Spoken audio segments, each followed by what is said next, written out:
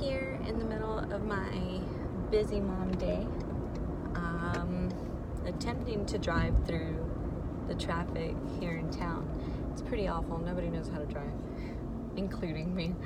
Um, but I just finished up a doctor's appointment for my newborn. She's two months old today. Um, she got her shots. I'm a pro vaccine mom. Give my kids all the shots. My dad, like, he was born in the 60s, and as a kid, he had the measles. I'm not interested in my kids getting it. Sorry. Um, and so my newborn, she's basically only going to doctor's appointments and necessary outings until she's one, since uh, she can't get measles vaccines until she won't be safe from the measles until she's a year old. So, um, really scary stuff, especially since like I wanted to go to San Antonio see my sister. She's at UTSA, and there are measles in San Antonio. Like it's crazy how fast that it has spread, and it's crazy that it's taken people actually getting the measles before um, you see a bunch of mass vaccinations happening. And I'm not gonna argue. It's pretty obvious. Like vaccines save hundreds of thousands of lives every day. It's not a debate. Um, yeah, that's all I have to say about that. What? Give my kids all the vaccines. My year old, she's about to be five, she went and had her vaccines yesterday. Um, and I gave her a flu vaccine. I know the season's almost over, but it can't hurt her. They aren't gonna hurt her. And like I understand, you know, that there are a few cases where vaccines have caused like bad stuff to happen, but that is a risk you run with anything. I'm deathly allergic to penicillin. You don't see me saying I'm never going to take another antibiotic again for the rest of my life. I'm grateful for the ones that I can take instead. Like, it's just some backwards, backwards ass thinking. Like, I'm afraid of harming my kids, so I'm going to let them be exposed to harm intentionally. I just, I don't understand it. So, didn't make any fucking or sense to me. Sorry, I was trying not to cuss there. Didn't make any sense to me. Just kind of makes me mad and frustrated. And I mean, I've I have people that are anti-vax on like my Facebook page, and I've I'll sit there and have civil argument with you. You want to say that this can be cured by a vitamin? Viruses can't be cured by vitamins. You want to say that you can take this instead to whatever? If you're taking something to cure a disease, you've already had it. You could have prevented it. That's just dumb thinking to me. Like like measles. They say vitamin A can help measles.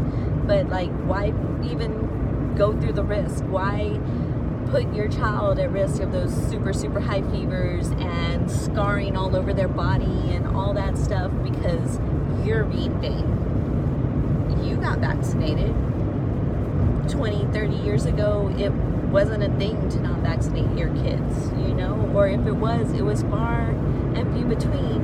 And those moms got looked at like they were crazy. Like the moms who aren't vaccinating now are still being looked at like they're crazy. Sorry. I'm a nurse. It's very hard for me to understand like people not vaccinating their children. Like it'd be the same thing as, oh, they have the flu. Well, I'm just gonna give them a bunch of orange juice because vitamins fight stuff better. And when they die from the flu, it was because of the flu medication that she didn't take that I saved her from. I don't know. I don't know. Like, it doesn't make sense. And I know there's bad stuff that happened with Tamiflu. There's bad stuff that happens with every single medication. You have to take that risk, okay? Like, it's just one of those things. And I feel for you if your kid is, is one of the ones that's been affected by vaccines, but at the same time, would you rather have your kid dead? And that's basically what it says. This wasn't meant to be a vaccine video. I just am like knee deep in vaccines. My daughter got two, got some yesterday. My little one got some today. Um, we have a WIC appointment later, so you know they're going to be like, we need to know if they're getting their shots. Yeah, it's it's exactly like I've seen. I've seen the argument like, okay, if you don't believe in vaccines, well then when your kid like gets sick of any, if if you think the pharmaceutical company is all bad and science that's been proven by scientists is all wrong, well, then you don't deserve medication. Okay? Like, if you're choosing to be that ignorant, like, oh, yeah, this guy went to school for like eight, ten years, you know, this nurse put in uh, two, three years, this nurse puts in hours and hours of their time, doctors put in hours and hours of their time like we're not doing it for fun you know? Nurses and doctors aren't out here sticking. We don't like to give babies shots. We don't like it hurts. It hurts to give like old people shots. It hurts to give anybody a shot. It, like it's a human reaction to not want to cause pain onto others. But at the same time you know that what you're giving them is like life-saving. So it's okay.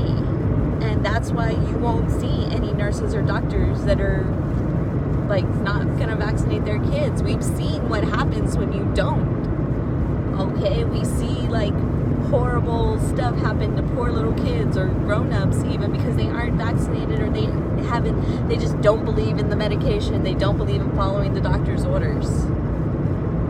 They're doctors for a reason. I don't know. Same token, uh, took my little girl to the doctor. She is 39 inches tall. She weighs 44 pounds. Doctor got upset. He said she was overweight. She is five pounds overweight. She just finished spring break. All she did was veg out on my couch. And so I was like arguing with the doctor back and forth because I generally feed her pretty healthy stuff. She doesn't get juice unless she's eating a meal. She drinks lots of water. She's active. She's like she has she'll be she was in between like soccer finished a few a couple of months ago for like winter break and soccer starts back up on Monday. So I'm like give her 2 weeks and she'll be right back under weight. But the doctor's like making a big deal about it.